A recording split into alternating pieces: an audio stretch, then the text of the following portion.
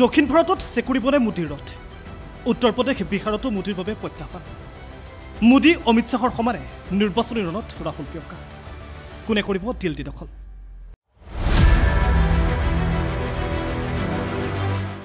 ইতিমধ্যে দেশত অন্ত পৰিছে সৰ্বমুঠ চাৰিটা পৰ্যায়ৰ ভোটগ্ৰহণ প্ৰক্ৰিয়া। বাকী আছে আৰু তিনিটা ভোটগ্ৰহণ প্ৰক্ৰিয়া। চৰ্চা দেশৰ ৰাজনীতিত প্ৰবল প্ৰত্যাহ্বানৰ সন্মুখীন হৈছে এইবাৰ বিজেপি মিত্ৰজোঁট।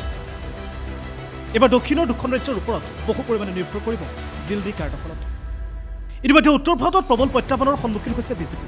মোদীৰ প্ৰতিটো প্ৰশ্নৰ উত্তৰ তাৎক্ষণিকভাৱে যথাযথ উত্তৰ দিবলৈ চেষ্টা কৰিছে ৰাহুল প্ৰিয়ংকা যিয়ে বহু পৰিমাণে সলনি কৰিছে দেশৰ ৰাজনীতি তদুপৰি ইণ্ডিয়া এলায়েন্সে বিপদ বঢ়াইছে এতিয়া বিজেপিৰ বাবে উত্তৰ ভাৰতত। ইতিমধ্যে ৰাজনৈতিক বিশ্লেষকসকলে দাবী কৰিছে যে উত্তৰ ভাৰতত এইবাৰ কমিব বিজেপিৰ মিত্ৰজোঁটৰ আসন। একেদৰে উত্তৰ পূৰ্বাঞ্চলতো আসন কমাৰ চৰ্চা অব্যাহত আছে। অৱশ্যে উৰিষ্যা বিহাৰত বিজেপি মিত্ৰজোঁটৰ আসন বহাৰ সম্ভাৱনা আছে। ইতিমধ্যে ৰাজনৈতিক বিশ্লেষক যোগেন্দ্ৰ যাদৱে প্ৰকাশ কৰা তথ্যত দিয়া নাই বিজেপি মিত্ৰজোঁটৰ সংখ্যাগৰিষ্ঠতা। প্ৰধানমন্ত্ৰী মোদীয়ে বিগত কেইমাহমান ধৰি দক্ষিণ ভাৰতৰ ৰাজনীতিত সক্ৰিয় হৈ পৰিছিল কেইবাবাৰো ভ্ৰমণ কৰিছিল দক্ষিণৰ ইখনৰ পাছত সিখন ৰাজ্য।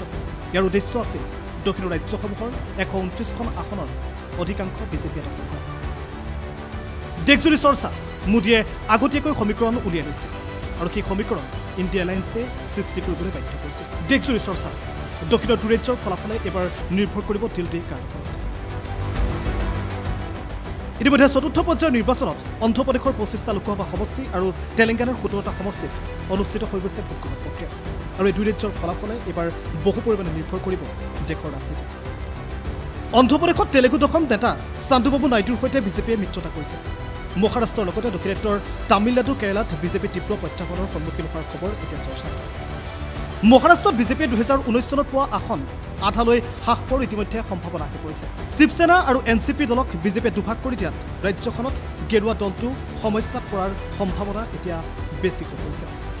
সেই অন্ধ্ৰপ্ৰদেশত চন্দ্ৰবাবু নাইডুৰ লগতে মিত্ৰতা কৰি বিজেপিয়ে পঁচিছটা সমষ্টিৰ অধিকাংশত এন ডি এৰ জয় নিশ্চিত কৰিবলৈ ৰণনীতি প্ৰস্তুত কৰিছিল যদিও প্ৰাপ্ত খবৰ অনুসৰি অন্ধ্ৰপ্ৰদেশৰ মুখ্যমন্ত্ৰী জগনমোহন ৰেড্ডীৰ ৱাই এছ আৰু কংগ্ৰেছ পাৰ্টীয়ে এতিয়া বিজেপিক দিছে প্ৰত্যাহ্বান আৰু যাৰ বাবে এতিয়া অন্ধ্ৰপ্ৰদেশত বিজেপিৰ পথ মসৃণ নহয়। একেদৰে দিল্লী দখলৰ ক্ষেত্ৰত এতিয়া দেশৰ ৰাজনীতিত চৰ্চাত থকা অন্য এখন ৰাজ্যই হৈছে তেলেংগানা। তেলেংগানাৰ সোতৰটা সমষ্টিত ইতিমধ্যেই চতুৰ্থ পৰ্যায়ৰ ভোটগ্ৰহণত সমাপ্ত হৈছে ভোটগ্ৰহণ প্ৰক্ৰিয়া। তেলেংগানাৰ কেইবাটাও সমষ্টিত জয় নিশ্চিত কৰিবলৈ বিজেপিৰ মোদী অমিত শ্বাহে চলাইছিল তীব্ৰগতিত নিৰ্বাচনী প্ৰচাৰ আৰু কেইবাবাৰো ভ্ৰমণ কৰিছিল মোদী অমিত শ্বাহে তেলেংগানা কিন্তু তাৰ পাছতো ইতিমধ্যে প্ৰাপ্ত খবৰ অনুসৰি তেলেংগানাত বলিছে কংগ্ৰেছৰ পক্ষত এজাক কথা। ৰাজ্যখনত নৱগঠিত কংগ্ৰেছ চৰকাৰখনৰ পক্ষত এতিয়াও অধিকাংশ জনতা থকাৰ চৰ্চা চলিছে দেশজুৰি আৰু তেনে ক্ষেত্ৰত তেলেংগানাতো প্ৰবল প্ৰত্যাহ্বানৰ সন্মুখীন হৈছে নৰেন্দ্ৰ মোদী তথা বিজেপি। মুঠতে দেশৰ ৰাজনীতিত এতিয়া চৰ্চা চলিছে দক্ষিণৰ দুখন ৰাজ্যক লৈ তেলেংগানা আৰু অন্ধ্ৰপ্ৰদেশ। তেলেংগানা আৰু অন্ধ্ৰপ্ৰদেশে এইবাৰ নিৰ্ভৰ কৰিব দিল্লী কাৰ দখলত নিউজ টেক্সিপুৰ প্ৰাগ নিউজ ডিজিটেল।